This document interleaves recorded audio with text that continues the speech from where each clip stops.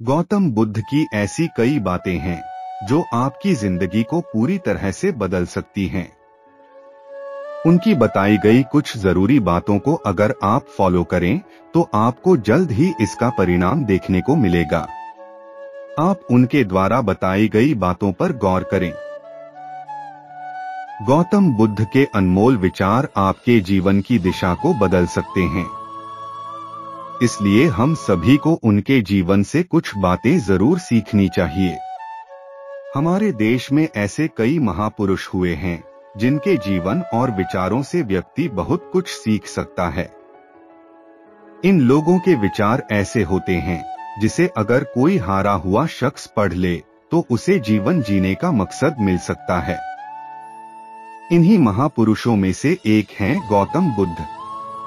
बुद्ध के सिद्धांतों का पालन करके आप लाइफ को जीने के तरीके को सीख सकते हैं इसका धर्म से कोई लेना देना नहीं है, बल्कि बुद्ध की शिक्षाएँ सबके लिए एक समान हैं।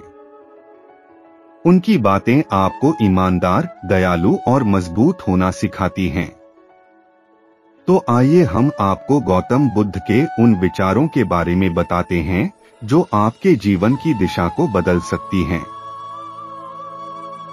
नफरत को नफरत से नहीं, बल्कि प्यार से ही दूर किया जा सकता है।